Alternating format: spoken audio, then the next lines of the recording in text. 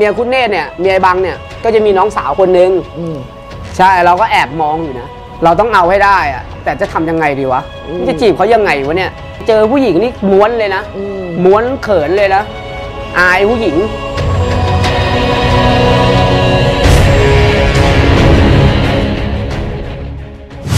ผมก็ไปกับบางบางบอกเฮ้ยเอาไปเอาเทน่าดีกว่า ไอ้บางก็บอกว่าของเขา ผมคอมเทน่าอืม ไอ้บางขับแอลแล้วยันตำรวจมาป๊าบอ้าวเฮ้ยไปไหนกัน รถสองคันนี้มีเอกสารไหมมีพี่ เดี๋ยวผมสองคนไปเอาเอกสารมาแล้วจะมาเอารถ ตอนเนี้ยพี่เอารถไปนี่เลย แล้วก็ไปเลย ใครจะมา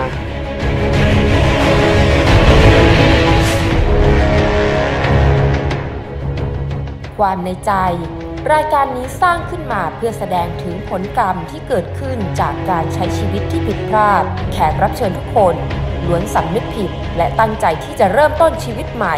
และจะไม่กลับเข้าไปในเรือนจำอีกครั้ง แขกรับเชิญไม่ใช่ฮีโร่แต่เป็นครูชีวิตที่จะไม่ให้เยาวชนของชาติต้องผิดพลาดเหมือนพวกเขา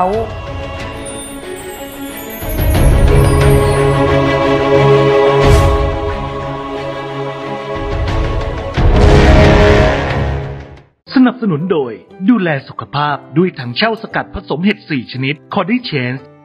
ดรเสรีการันตี สวัสดีครับ ขอต้อนรับคุณผู้ชมเข้าสู่ช่อง YouTube รวมหัวทีวีนะครับ กับรายการถามได้จันนะครับ วันนี้เราปักหลักอยู่กับคุณหนูพกซุนนะครับ แต่ก่อนเข้ารายการเนี่ยคุณหนูพกซุนบอกว่าหิวมากก็เลยจัดการสั่งน้ำเก๊กฮวยให้คุณหนูนะครับ สวัสดีครับ สวัสดีครับ อร่อยไหมน้ำเก๊กฮวยอร่อยดีเหรอเย็นเย็นเย็นๆซ่าหวานหวานๆหวานๆช่ำใจจะมาต้มเอง ต้มเม เออต้มหลังบ้าน ใครอยากสนใจจะมาทานน้ำเก๊กฮวยที่สตูรวมหัวเบนมานะ เดี๋ยวจะจัดให้สักสิบคนกับคุณผู้ชมที่เป็นแฟนพันธ์แท้ของรายการอีพีที่แล้วบอกว่าหนีออกจากบ้านนุิตา แล้วกลับไปหาปลา แต่ตอนนั้นเนี่ยตำรวจก็มาล้อมาอยู่ไม่เต็ไหวแล้ว ใช่อยู่ไม่ได้ บอกว่าอยู่ไม่ได้ เดี๋ยวต้องไปวัดดาวก่อน ไปบ้านสุวิทย์ เป็นบ้านสวิต ไปอยู่กับไอ้บังก็อยู่บางคุณเนตก็บางอยู่ คุณเนตรเออใช่มีคนบอกว่าคุณหนูเนี่ยไม่ยอมพูดถึงคุณบางคุณเนตรเลยใช่มีเหรอ ปัญหาอะไรกันเปล่า ไม่มีบางกับผมก็คือเป็นเพื่อนกันเหมือนเดิมโอเค แต่ตรงนี้ไม่ได้เจอมันเลยนะเหรอนานแล้วเนี่ยสองสามเดือนแล้วไม่เจอมันเลยมันอยู่ไหนไม่รู้ เหรออืมเขาเขาเบื่อขี้หน้าคุณหนูป่ะ สงสัยจะใช่ หรือว่าหนีหนี่ไม่มีหนี่สินกันอ๋อเหรอ เราไม่มีอะไรไม่มีอะไรกัน เอาเอาย้อนกลับไปตอนนั้นเนี่ยหลังจากที่จะหนีตำรวจไปที่ไปหาบังคุเนศกับสุวิทย์เนี่ยที่วัดเจอไหมดาว อืม เจออืม ก็เจอบังเจอสุวิทย์แล้วก็เจอน้องสุวิทย์อืม แล้วก็ไปอยู่ เราไปก่อนไปปุ๊บไปกับไอ้ปี้ไอ้ปี้เป็นคนพาไป ซ้อนเทน่าไปนะ สมัยก่อนเป็นเทน่านะแล้วก็ซ้อนเทน่าไว้เราก็ไม่รู้ว่าดาวอยู่ไหน แต่รู้จักว่าดาวแต่ไม่รู้อยู่ไหน เราเข้าไปเป็นหลังโรงเหล้าบางยี่ขัน เราเข้าไปที่บ้านปุ๊บเราก็ไปนั่งนั่งในห้องในห้องมันจะเป็นห้องเขาเขามันมีอยู่สามห้องเราก็ไปนั่งอยู่ในห้องปุ๊บเราก็นั่งแบบกวนตีนอะเออแล้วน้องเขามา น้องเขามา แล้วก็ไอวิทย์มา ไอบางบอกเนี่ยไอวิทย์บอกกูต้องกูต้องยกมือไหว้มันปะไม่เคยเจอมากันมาก่อน ใช่ ไม่เคยเจอกันมาก่อนโอ้กูต้องยกมือไหว้มันปะอืมไอวิทย์ก็มองเฮ้ยไม่ต้อง เฮ้ยไม่ต้องไม่ต้องไม่ต้องเพื่อนกันอืมอ๋อกูนึกว่ากูต้องยกมือไหว้มึง ไม่ต้องนะ เออไม่ต้องไม่ต้อง นี่เรายกมือไหว้คนยากเนาะไม่ใช่เรากวนตีนเนี่ยเออเราก็อยู่บ้านเขาเนี่ย ไปเจอน้องเขาอะไรเขาถามเอาน้ำอะไร เอาเป๊ปซี่แล้วกันเขาซื้อเป๊ปซี่ไว้ถุงเราก็นั่งนั่งดูดเป๊ปซี่ไปแล้วก็อยู่น่ะเราจะกลับเมื่อไหร่วะเนี่ยเราก็ไม่อยากอยู่อะนะแล้วก็ให้กูกลับเมื่อไหร่วะ ให้กูไม่มาไม่ทำไม่อยากไมไม่อยากอยู่กับบังคุเนศเลย ตอนนั้นเรายังไม่อยากอยู่เพราะว่ามันมันไม่เราสก็นุกไม่เหรอใช่เราก็ไม่รู้จักสุวิทย์ด้วย อ๋อ แล้วก็มีผู้หญิงด้วย เราเขินไงอืม เราเขินผู้หญิงไงอืมจีบผู้หญิงไม่เป็น ไม่กล้าอยู่ใกล้ผู้หญิง แล้วก็เมื่อไหร่กูจะได้กลับวะอยากจะกลับไปอยู่กับปาโอรสมากกว่า ใช่ไปอยู่นู้นดีกว่าสนุกฝ่าใช่ป่ะบอกเออมึงอยู่เนี่ยแหละหนู มึงอยู่เนี่ยมึงไม่ต้องไปไหนหรอกอยู่กับกูเนี่ย บอกบังมันจะดีเหรอ มึงให้กูทำอะไรอยู่เนี่ย ต้องทำอะไรอะ ตังค์ที่ไหนอะหมองตังค์มีใช้ทุกวัน บอกเอาไปดีนะไอ้บังเอาตังค์ตังค์ที่ไหนใช้ทุกวัน มีรถ มีมอไซค์อะสุวิทย์ขับแอลนะมีแอลคันหนึ่งบอกมีรถแล้วไปเกี่ยวอะไรอะ แล้วก็ออกกลางคืนนี่เอาก็คืออืมไปหาตังค์ไปหาตังค์เออให้เราไปปล้นเฮ้ยนี่มีตังค์ไง หาตังค์ด้วยวิธีการปล้นปล้น บางคุณได้บอกอย่างนั้น แล้วเราเราเราฟังแล้วเป็นไง เห็นด้วยไหมเออแล้วมึงให้บอกวันไหนอะ เออเอ้าเดี๋ยวก่อนนะ แทนที่จะบอกว่าไม่เอาจะถามว่าออกวันไหน แล้วมึงให้บอกวันไหนอะ อุ้ยสลับกันไหมอะ เอ้าเรายอมเหรอสลับกันคนละวัน เอ้า มันต้องหาตังค์อะ อืม เพราะเราออกมาเราหนีออกมาเราจะไปทำงานทำอะไรมันก็ไม่ได้ เออแล้วเราใช่ก็จะไปทำงานอะไรอะ สมัครงานที่ที่ไหน ใครเขาจะรับอีกลายแบบนี้ สมัยก่อนเขาจะเอาเรื่องลายสักมากเลยนะ ใช่ มันไม่เหมือนสมัยเนี้ยคือว่ารอยสักนี่เป็นธรรมดาแล้ว เมื่อก่อนไม่ได้เลยนะเขาสมัยก่อนเขามองว่าใครลายสักเนี่ยต้องคนไม่ดีก่อนเลยคนไม่ดีก่อนอืมไอ้นี่คบไม่ได้แล้วอืมคนไม่ดี ใช่ ถ้าเป็นสมัยก่อนพี่ไม่คุยด้วยกับคุณหนูนะบอกตรงใช่บอกตนะจริง เอาจริง เอาจริงนะเรื่องจริงนี่พูดแบบตรงๆสมัยก่อนจริงเนี่ยแม่ไม่คุยกับคนที่สักลายเลยนะอืมมันน่ากลัวอืมเพราะพวกเนี้ยมันต้อง ต้องต้องโทษมาอืม อย่างน้อยก็ต้องผ่าน ขบขบวนการเดินจำมาก่อนใช่ ถึงจะสักมา ใช่ทำงานราชการทั้งนั้นนะผมอะอืมราชทันนี่ อืมสถานพินิษนี่พวกผมทำงานราชการนะเออใช่ นะ นี่พี่คุยกับคนมีตำแหน่งมีมียศดีกว่า ผ่านงานราชการมา ใช่ราชทันอืม ราชทันแต่เป็นนักโทษนะ แล้วเราก็ไปอยู่เงี้ย อยู่เราก็ แล้วก็มีมีเพื่อนผมมีคนหนึ่งชื่อมอริสหน้าเขาจะเหมือนมอริเค ตัวดำๆเหมือนกันหน้าเหมือนกันเลย เหมือนมอริเค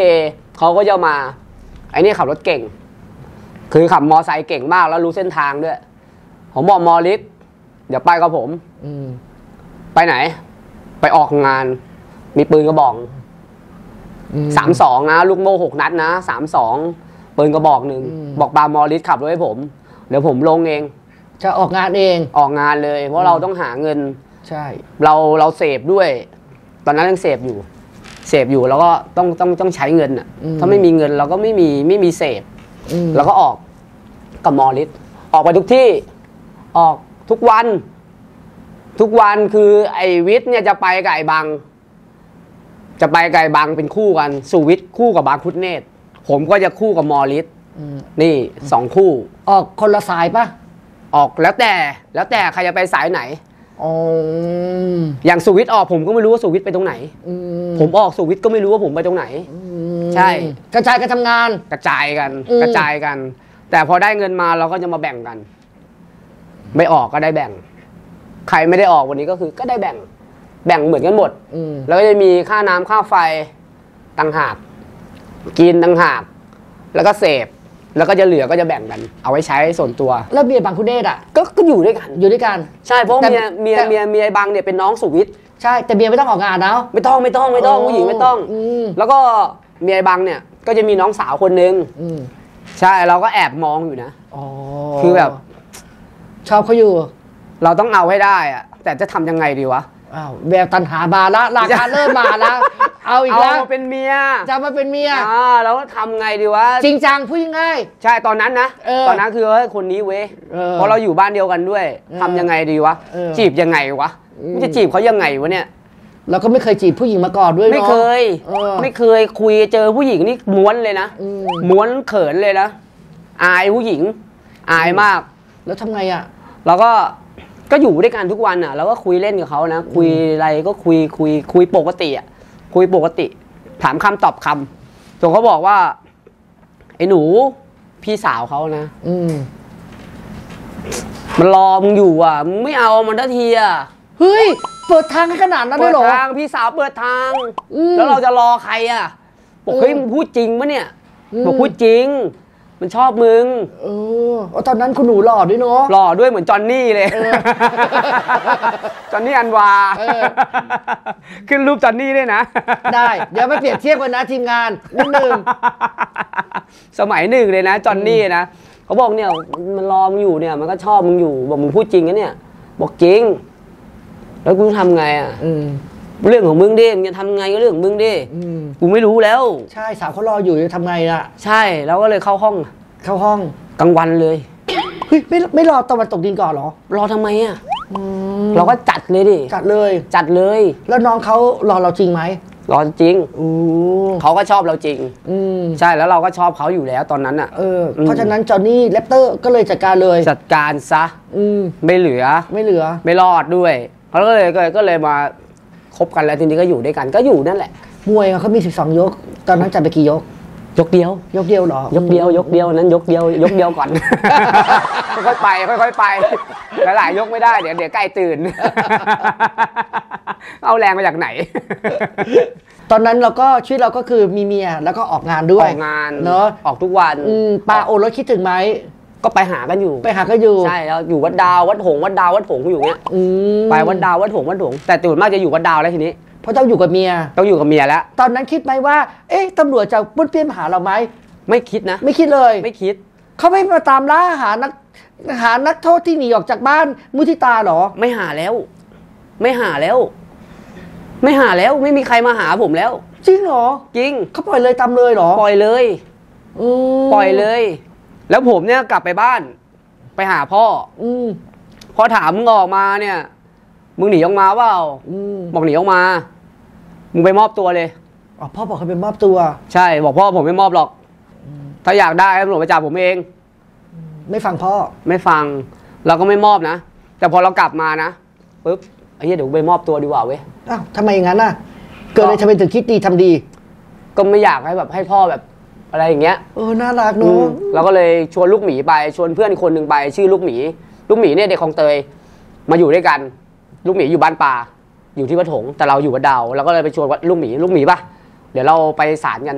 ศาลสนามหลวงนะ สถานพินิษอะขึ้นศาลสนามหลวงสถานไอยศาลครอบครัวครอบครัวและเยาวชนอะ เราก็ไปปึ๊บไปกับลูกหมีสองคนนั่งนั่งรถไปปั๊บข้ามเรือก่อน ข้ามเรือจากฝั่งศรีราชไปสั่งฝั่งท่าประจันทร์แล้วก็เดิน ไปสนามหลวงสนามหลวงอืมปุ๊บเราก็ไปเลย เราก็ขึ้นไปข้างบน บอกมาหามาหาพ่อเกียงชัยตอนนั้นเป็นรองอธิบดี เราไปหารองอธิบดีเลยนะปุ๊บไปบอกเลขาเขาพับหนึ่งพ่อเขาก็ออกมาเรียกพ่อนะเขาก็ออกมา เอ้าว่าไง บอกพ่อผมมามอบตัว บอกเฮ้ยไม่ต้องมอบหรอก กลับไปบ้านไปอยู่บ้านให้ตังค์สามร้อยเอาแล้วคดีที่เราแหกออกมา เขาไม่ว่าเลย อ๋อก็เลยทำเลย ใช่ อืม ผมไปสองครั้งอะ อืมได้มาสามร้อยสองครั้งอะ กับพ่อคนเดิมป่ะ ใช่อ๋อรองเกียงชัยเนี่ย คนอืมเดิมเนี่ยเป็นเขาเป็นคนที่ดีมากเลยนะเขาไม่ถือตัวไม่อะไรนะเขามาบ้านเนี้ยสิบหกไร่ตอนที่สมัยผมยังอยู่นะเขามานะ คือเรานั่งกับพื้นเนี่ย ดูทีวีดูอะไรเงี้ยเขาก็นั่งอยู่กับเราอืมคือเขาก็นั่งเราก็นั่งล้อมเหมือนเงี้ย เป็นรองอธิบดีอะครับเขาเข้ามาหา แสดงว่าพ่อเขาเนี่ยไม่อยากเอาความผิดกับเรา ก็เขาอาจจะคิดว่าปล่อยปล่อยๆไป แล้วก็เพื่อเราจะกลับเนื้อกลับตัวแล้วเป็นคนดี ใช่เป็นเป็นอนาคตของชาติ นั่น แล้วก็เป็นคนดีของชาติของใช่ จริงแต่ว่าเขาคิดผิด อืมเขาคิดผิด เขาคิดในมุมของเขาแล้วเขาไม่อยากให้เราเข้าไปอืมแต่ว่าเราทำตามแบบว่า ความคิดเขาไม่ไม่ได้ ไม่ได้ เพราะเราไม่รู้ว่าเขาคิดแบบนี้อืมเราไฟดีไม่ได้ อืมเราไฟไฟดีดีไม่ไม่ได้ ตอนนั้นนะ ตอนนั้นนะเออตอนนั้นไม่ไม่ใช่ตอนนี้นะเออตอนนี้เราเป็นคนดีแล้ว ตอนนั้นไฟดีไม่ได้ ใช่ อืม เราก็เลยกลับ กลับมาแล้วก็บอกพ่อ บอกพ่อผมไปมอบตัวแล้วอืม เขาไม่เอาผมเขาให้ผมกลับไปอยู่บ้านอืม บอกผมพูดจริงปะเนี่ยอืม บอกจริงเขาให้ผมกลับมาอยู่บ้าน ให้ตังค์ผมมาสามร้อยผมไปมาสองครั้งแล้ว ครั้งสามผมไม่ไปแล้วเดี๋ยวเขาจับผมเข้าไปข้างใน อืม เราก็ไม่กล้าไปแล้วครั้งสามใช่ไม่เอาแล้วเออเขาพูดแล้วเขาบอกปล่อยแล้วปล่อยแล้วสองครั้งจะมาอีก เดี๋ยวครั้งสุดท้ายเราหรือเหรอเราหรือมึงเข้าไปเลย เราก็เนี่ยไม่ไม่ไม่ไม่ไม่ไปไม่ไปเราก็อยู่อยู่บ้านสุวิทย์เนี่ยวัดดาวก็อยู่อย่างเงี้ยออกงานกลางคืนแล้วก็ออกงานวันไหนเราไม่ไหวเราก็นอน เออก็ก็เก่งเนาะออกงานแล้วไม่เคยโดนตำรวจจับ ไม่เคย ไม่เคยเลยนะ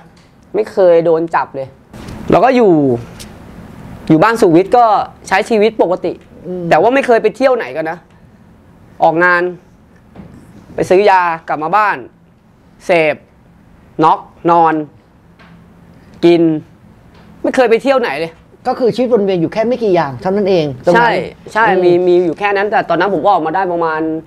ผมออกหนีออกมา 18 มีนาใช่ไหมผมมาเกมประมาณได้สองเดือน ได้สองเดือนเองผมใช้ชีวิตแบบนี้ได้สองเดือนเองแล้วผมมาเกมล้อเลื่อน มาเกมล้อเลื่อน คือยังไงอะมาเกมล้อเลื่อนผมก็ไปนะผมไปกับบางคุณเนตรผมก็ไปกับบางบางบอกเฮ้ยเอาไปเอาเทน่าดีกว่าไอ้บางก็บอกว่าของเขาใช่ไหมบ่อยบางรถมึงเหรอเทน่าคันเนี้ย บอกรถกูอืมคันเนี้ยรถกูเดี๋ยวเอาเลย เอากลับบ้านเลย บอกเออไปเอาดิเราก็ไปขับมอไซค์ซ้อนก็ไปนะขับแอลไปพอเราไปถึงปุ๊บเราก็หักคอ เราก็เข็นรถออกมา เราก็ยัน ผมคอมเทน่าอืม ไอ้บางขับแอลแล้วยันอืมปุ๊บจังหวะซวยไปเกมหน้าบ้านสามารถ มันมีรถปิกอัพขับมา แล้วทางมันแบบว่ารถวิ่งได้แค่คันเดียว ถ้าอีกคันหนึ่งสวนมาคืออีกคันหนึงต้องหลบรถมันก็วิ่งไปเราก็ตามรถกระบะไปตำรวจมันขับมานู้นเราไม่เห็นหรอก เราก็ขับตามรถกระบะไป มันก็จอดตำรวจมาปั๊บอ้าวเฮ้ยไปไหนกัน อืมกลับบ้านครับ อืมอ้าวแล้วรถทำไมขับไม่ได้อะ อ้าวตอนแรกก็ขับได้อยู่กุญแจหล่นพี่ อู้พี่เหตุผล มีเหตุผลหลอกตำรวจไปอีกอืม กุญแจมันหล่นพี่ก็เลยขับไม่ได้ เออ ก็เลยยันกลับบ้านเนี่ยอืม บอกเฮ้ยเดี๋ยวไปสอนอก่อน ตำรวจไม่เชื่อสิ ไม่เชื่อโอ้โหอืมลายกันขนาดนี้ อืม ไอ้บางก็พันขาเหมือนกัน ลายเต็มตัวเหมือนกัน บอกไปได้พี่ปะเดี๋ยวยันไปพี่นำเลย อืม แล้วก็ใจดีสู้เสีย อืม เดี๋ยวยันเลยไปเลยพี่นำเลยอืมเพราะมันใกล้กัน ใกล้กัน กับสอนอก็ยันไปถึงเอาถึงสอนอปุ๊บแล้วก็จอดรถมอไซค์หน้าสอนอตำรวจถามคันนี้ใครขับ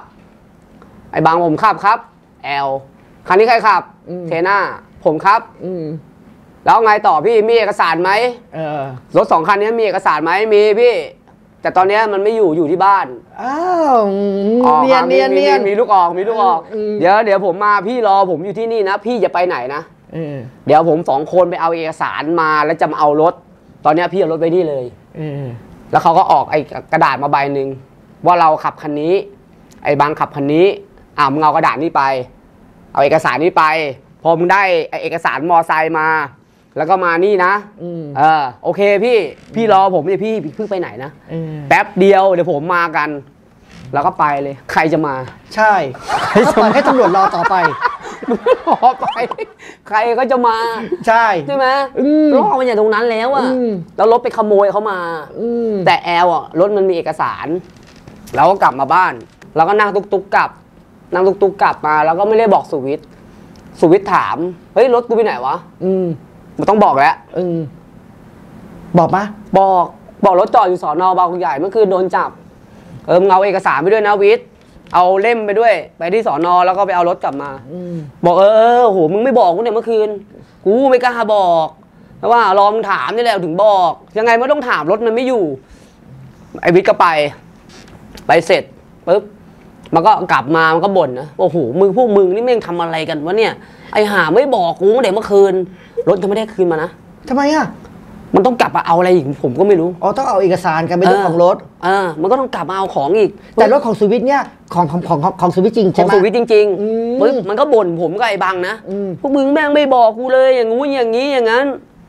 เราก็นั่งเฉยๆมึงจะพูดอะไรก็พูดไปดิอืมเออนั่งเฉยๆแล้วแต่มึงอยากพูดอะไรก็พูด อืมคุณไม่ใช่อยู่แล้ว แต่มันไปสอนอมาแล้ว อืม แล้วมันกลับมาแล้วปึ๊บแล้วมันไปอีก ผมก็นั่งอยู่แล้วก็แฟนผมมันนั่งตักผมอยู่ อืมสมัยก่อนจะเป็นเกมไอ้เนี่ย เกมบอย ไอเกมบอยกดเนี้ยเครื่องเล็กาเครื่องเล็กๆอะกดผมก็นั่งเล่นเกมอยู่แฟนผมก็นั่งตักอุ้ยนี่นี่นั่งอยู่นี่จังหวะอยากกินขนม ตรงนี้เป็นประตู จะมีประตูข้างหน้าบ้านแล้วก็ประตูเนี้ยเข้าได้ ประตูเนี้ยผมจะล็อกไว้ อยากกินขนมก็เลยให้น้องอะ ให้หลานในบ้านอะ ไปซื้อขนมมาเพราะข้างหลังจะมีร้านค้าอยู่ ก็ออกไปซื้อประตูไม่ได้ปิด ไอ้บางนอนอยู่ในห้องตำรวจเดินเข้ามา สายสืบบางกองใหญ่ ผมก็ไม่รู้นะว่าใครอะเพราะมันนอกเครื่องแบบ มันก็เดินผ่านหน้าผมเนี่ยอืมผมก็มองใครวะอ้าวใครวะผมก็มองนะใครวะผมก็เล่นเกม จนคนสุดท้ายเข้ามาตำรวจอะน่าจะเป็นไอจราจรอะไม่ใช่จราจรเนี่ยสายตรวจ สายตรวจที่ว่าจับผมตอนกลางคืนอะแต่วันนั้นเขาไม่ได้ใส่เครื่องแบบเขามากับสายสืบผมเข้ามาเลยเขาบอกไอ้นี่แหละผมก็งงบอกอะไรพี่ตำรวจแม่งก็จับผมเลยดิปึ๊บเฮ้ยมึงเหรอ บอกอะไรพี่เรื่องอะไรเนี่ยอืมบอกมึงอะรถอะมึงไปขโมยเข้ามาเนี่ย มีคนเขามาแจ้งฟาร์มว่ารถเขาหายแล้วเขาหาย บอกพี่ใช่ผมหรือเปล่า บอกมึงอะกูจำได้เมื่อคืนเนี้ยมึงอะขับเทน่าแล้วอีกคนนึงอยู่ไหน คนนึงไม่รู้พี่อืมพยายามจะช่วยบังเออเออไอ้บังอยู่ในห้องเออแล้วเขาบอกว่าเราไม่รู้ บอกไม่รู้บอกไม่รู้พี่ คนอยู่ไหนไม่รู้พี่ ผมอยู่คนเดียว นี่ก็นั่งตักผมอยู่บอกอะไรเนี่ยพี่ แฟนผมนะอะไรเนี่ย มีอะไรกัน ค่อยๆคุยกันดิทำไมคุยกันแบบนี้ปุ๊บบอกลุกลุกลุกมึงลุกใส่กุญแจมือผม มึงโดนแล้วอืมลักทรัพย์ร้อนเลือดนะอืมไอ้บังอยู่ไหนอืมไอ้บังอยู่ไหน บอกผมไม่รู้พี่ ไม่รู้เมื่อกี้มันนั่งอยู่เนี้ยมันหายไปไหนไม่รู้ แล้วก็มีเพื่อนผมคนหนึ่งนั่งอยู่กับผมเหมือนกัน ตีเข่ง ตีเข่งนั่งอยู่เนี้ยตำรวจไม่ยุ่งกับตีเข่งเลยนะอืมเพราะว่าตีเข่งเนี่ยไม่เกี่ยว ไม่ยุ่งกับตีเข่งเลย ไม่ถามตีเข่ง ไม่แตะตัวตีเข่งเลย ปุ๊บตำรวจมันก็เดินเข้าไปดูในห้องขอไอ้บังเกมแล้วอืมเพราะไอ้บังมันอยู่ในห้องตำรวจก็เดินเข้าไปดูในห้องตำรวจมองไม่เห็นน่ะตำรวจมองไม่เห็นไอ้บังอ้าวไอ้บางใช้วิชาพรางตัวอยู่เหรอ ผมไม่รู้ว่าตอนนั้นน่ะมันทำแบบไหน อืมแต่ตำรวจมองไม่เห็นไอ้บังทั้งที่บางอยู่ในห้องแต่ตำรวจมองไม่เห็น มองไม่เห็น อืมเออ ผมก็ออกมา เอาผมออกมา เอาผมออกมาเดินออกไปกำลังจะกลับสอนออืมผมว่าจุดกลางทางเลยบอกพี่ ผมว่าไอ้บังอะอยู่ในห้อง พี่เข้าไปดูกับผมมาตอนตอนนั้นผมใจผมคิดแล้ว ถ้าแม่งพาผมเข้าบ้านเมื่อไหร่นะ ผมวิ่งแน่นอนแล้วผมกระโดดน้ำเลย กระโดดน้ำเลยผมว่ายน้ำหนีได้ดำน้ำหนีอยู่เลยแม่น้ำเจ้าพระยานะ เพราะว่าตรงบ้านสุขวิทจะเป็นคลอง เอ้ยเป็นเป็นแม่น้ำเจ้าพระยาอ่าผมก็โดดน้ำแน่ ถ้าพาผมเข้าไปในบ้านอะ เขาบอกมึงไม่ต้องอะ กูไม่ให้มึงเข้าไปแล้วไปไปไปไปกูไม่เอาแล้วไอ้บางกูเอามึงคนเนี้ยคนเดียวตำรวจไม่หลงกลนะเฮ้ยหลงโกนหัวไม่เข้าทางผมอะ แต่แต่คุณแต่คุณหนูไม่คิดเหรอ ถ้าเกิดสมมติว่าตำรวจเข้าไปเกิดตำรวจก็จับบางใบคนนะเท่ากับเราพาเพื่อนเข้าห้องขังไปด้วยนะ เรื่องของมันดิอ้าวเรื่องของไม่เกี่ยวกับผมผมไม่เอาตัวรอดไงโอ้ผมก็จะเอาตัวรอดผมตอนนั้นเหมือนกันอืมเพราะว่าไอ้บังอะมันรู้ว่าผมโดนจับอะผมคิดในใจแล้วมันต้อง มันต้องหนีอยู่แล้วไปแล้ว เออ มันไม่อยู่ในห้องแล้วตอนนั้นน่ะ ไปแล้วออกนอกบ้านไปแล้ว เป็นเป็นผมผมก็ไปผมไม่อยู่แล้วอืมนี่ว่าผมก็เลยต้องย้อนกลับเข้าไปเพื่อที่ผมจะหนีด้วย อืม แต่ตำรวจไม่ฟังผมไงเอาผมไปสอนอผมก็ไปเจอเจอพี่ เข้าไปในห้องไอห้องสืบไปเจอพี่ เอ้าโอ้โหไอ้หนูเป็นมึงเหรอบอกผมเองพี่ แล้วทำไมไม่บอกพี่ เอาพี่แล้วผมทำไงทีเนี้ย ถอนถอนได้ไหม ตำรวจบอกไม่ได้แล้ว ลงบันทึกประจำวันไปแล้ว พี่คนนั้นคือเจ้าของรถ ใช่ โธ่เอ้ยไม่ใช่ไอ้บัง ไม่ใช่ไอ้บัง ไอ้บังบอกมันเจ้าของรถ ไปเอารถมัน ผมก็ไปกับมันไปเอารถ ถ้ารถมันก็ไม่มีปัญหา แต่อันนี้มันไม่ใช่รถมันโธ่มันรถพี่เขา แสดนี่งแสดงว่าที่เราไปปล้นรถเนี่ยเราเราถูกบังหลอก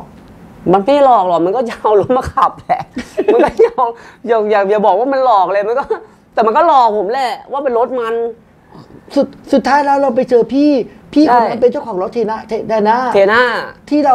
จะไปขโมยมา ใช่ แล้วพี่คนนั้นเขารู้จักกับ ก็รู้จักคุณหนูก็อยู่ด้วยกันอยู่ด้วยกันอยู่ด้วยกัน แล้วเขาไม่สงสัยว่าอยู่ด้วยกันรู้จักกันจะมาขโมยรถกูไปทำไมเนี่ยเขาไม่คิดไงอืมว่าจะเป็นคนไหนเอาวันรถกันเองอะไรอย่างเงี้ยเขาว่าคิดว่าคนอื่นน่ะมาเอารถเพราะว่ารถตรงนั้นน่ะเคยหายมาแล้วครั้งหนึ่งรถของเป็นลูกพี่ลูกน้องของไอ้ปาเนี่ย จอดตรงนั้นน่ะ มันมืดไง ต่อมันเล็กๆเงี้ย มันมืดไม่มีกล้องวงจร ไม่มีไฟเขาเคยหายไปแล้วครั้งหนึ่งอืมอืเขามเขาก็เลยไปฟ้องตำรวจใช่แล้วพอรู้ว่าเป็นคนกันเองจะถอนฟ้องก็ไม่ได้แล้วถอดไม่ได้แล้ว ไม่ทันแล้วเราก็เลยบอกว่าพี่ตามนั้นแหละไม่เป็นไร เอาละครับ ชีวิตของคุณหนูเนี่ยพลาดแล้ว คราวนี้คงต้องไปอยู่ในคุกผู้ใหญ่แล้วเนอะอยู่เข้าเรือนจำแล้เข้าวเรือนทีนี้จำผู้ใหญ่แล้ว เรื่องราวของคุณหนูจะเป็นยังไง เราจะมาติดตามกันใน EP หน้านะครับ วันนี้ต้องขอขอบคุณคอดิเชนนะครับสารสกัดถังเช่านะครับ ที่ผสมด้วยเฮดสีชิ้นด้วยกันนะครับ ช่วยจะให้คุณมีสุขภาพที่ดี และที่สำคัญเนี่ยสำหรับผู้ใหญ่ที่อายุเกิน 50 ปีขึ้นไป ขอแนะนำให้ทานถังเช่ากันนะครับทุกวันวันละหนึ่งเม็ดจะทำให้คุณเนี่ยมีภูมิ คุ้มกันที่ดี เวลาร่างกายเรามีภูมิคุ้มกันที่ดีเนี่ยเราก็จะป่วยยากและที่สำคัญเนี่ยคนที่มีปัญหาเรื่องน้ำตาลในหลอดเลือดที่สูงเนี่ยทานถังเช่ามาจะช่วยลดปริมาณน้ำตาลในเลือดทำให้คุณมีสุขภาพที่ดี และมีชีวิตอยู่ที่ยืนยาวโดย ไม่โอกาสที่จะเจ็บไข้ได้ป่วยเนี่ยยากขึ้นนะครับ วันนี้ถ้าไปแล้วครับ สวัสดีครับ ตัวเงาคือตัวประจำตัวประจำเขาเขาจะนั่งพวกนี้เขาจะไม่เดินอืมเพราะถ้าเดินน่ะตัวมันจะดำ เขาก็จะไม่เดินกันเขาจะนั่งเฉยๆแล้วก็จะค่อยๆวางอืมตัวนี้วางกับพื้นนะ อย่างนี้นะค่อยๆวางนะจะไม่มีวางกึ้งลงไปนะรักยิ่งกว่ารถอีก